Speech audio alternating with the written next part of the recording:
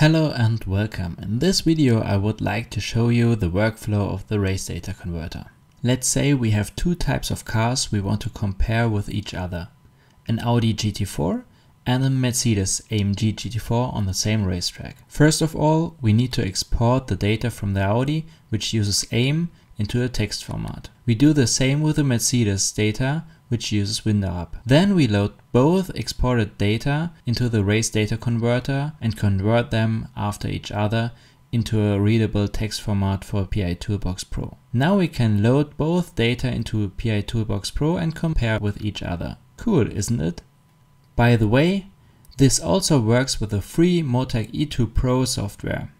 All we have to do is switch the export format of the race data converter and we can analyze both vehicles in Motec. If you'd like to learn more about how to export data from WinDarab or AIM, click on the videos on the left. If you want to know the story of why I have developed the race data converter, click on the video on the right. If you like this video, I would be very happy about a like. Thank you for watching.